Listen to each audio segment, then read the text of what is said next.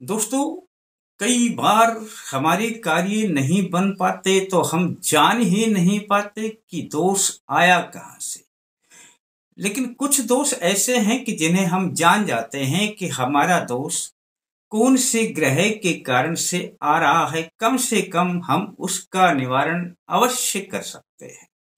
और यदि जान लिया जाए कि राहु आपका कमज़ोर है, राहु से आपको दोष आ रहे हैं आपके कार्य रुक रहे हैं तो यदि आप राहु को प्रबल बना लेंगे या राहु को कर लेंगे अपने पक्ष में तो फिर सारे कार्य अपने आप बनने लग जाएँगे। और यदि राहु प्रसन्न तो समझ लेना कि आपके जीवन में कोई गतिरोध नहीं आएगा। अब आप आगे बढ़ते चले जाएँगे और हो सकता है कि राहु और अधिक खुश हो जाए तो आपको माला माल भी कर दे दोस्तों। पर कई बार ऐसा हुआ करता है कि हम स्वयं में प्रत्यक्ष कोई कार्य करते हैं, किसी की अर्जी लगाते हैं तो उसकी सुनवाई जल्दी से नहीं हो पाती।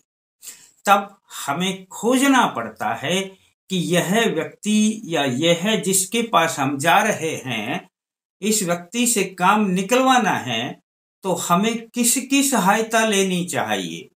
उस व्यक्ति के ऊपर किसका प्रभाव है?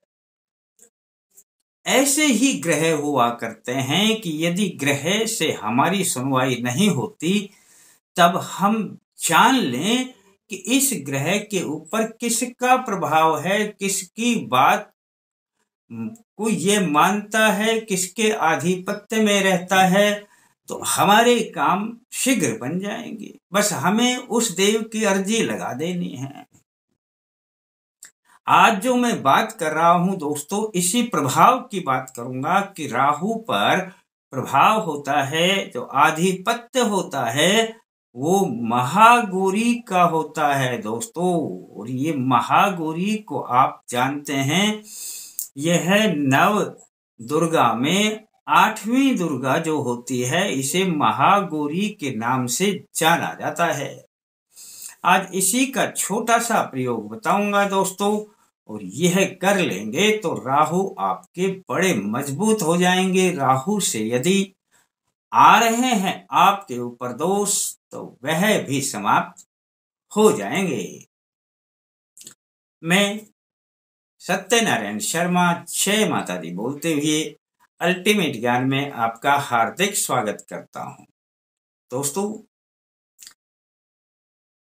अब ये जो नवरात्रि की अष्टमी आती है, उस अष्टमी को इस प्रयोग को करना है और इस नवरात्रि को अष्टमी जो आ रही है तो वह शुक्रवार की आ रही है। शुक्रवार को इस प्रयोग को कर लेना। दोस्तों, इस प्रयोग को करते समय आपने बस अपना स्नान, ध्यान करके, यानी कि नित्य कर्मों से निवृत्त होकर के और एक शुद्ध देसी घी का दीपक जला देना और पूर्व की ओर मुख करके बैठ जाना दोस्तों। आपने बस करना क्या है? एक माला यानी 108 मंत्र। अब ये मंत्र भी बड़े आसान हैं, आप किसी भी देवी के मंत्र को याद करेंगे तो इनका एक साधारण सा तरीका हुआ करता है, और यह साधारण तरीके वाला ही मंत्र मैं आपको बताऊँगा। आपने 108 मंत्र करने हैं।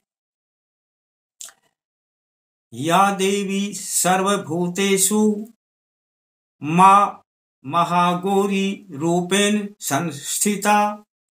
नमस्तस्यै नमस्तस्यै नमस्तस्यै, नमो नमः। अब यह जो मंत्र है, ये सबको याद रहने वाला मंत्र है।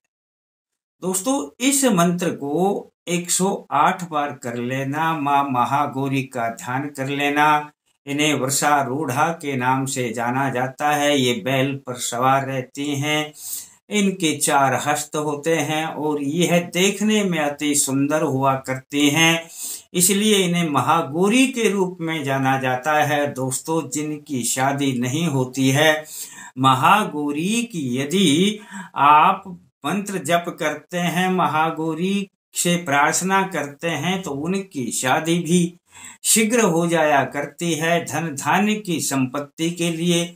और भी अपने घर में कोई कार्य नहीं बनता हो, उसके लिए आप अपनी कैसी भी अर्जी लगाएँगे दोस्ती।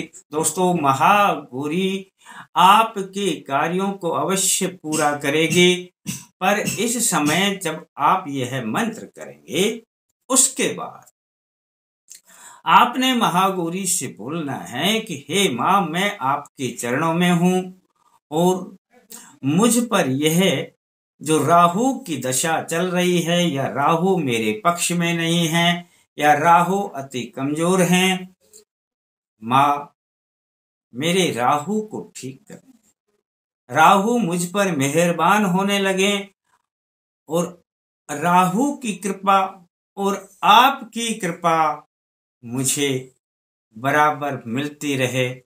बस दोस्तों, इतना सा बोल देना दोस्तों। किसी का राहु कैसा भी खराब हो, समझ लेना, राहु की कृपा आपके ऊपर आनी प्रारंभ हो जाएगी। माँ महागुरी का आधिपत्य पूरा राहु पर रहता है और आपने यदि राहु की अर्जी माँ को लगा दी तो आपका काम बन गया, समझो।